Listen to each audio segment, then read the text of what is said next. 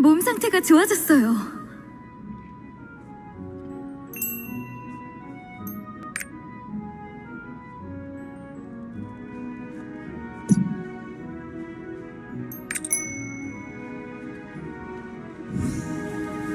아이 희망 연구소 안에서 만나요.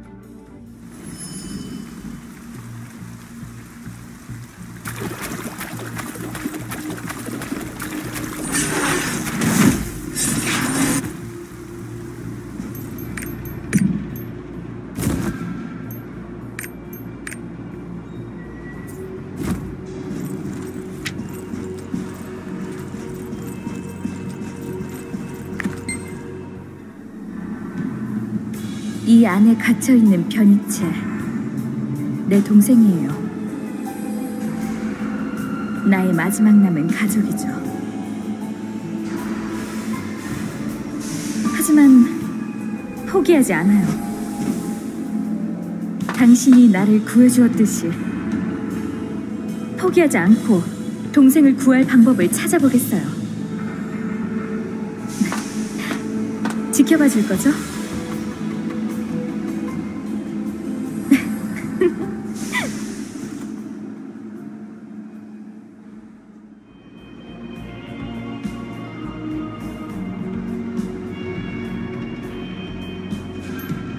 나에 대한 이야기는 이게 다예요.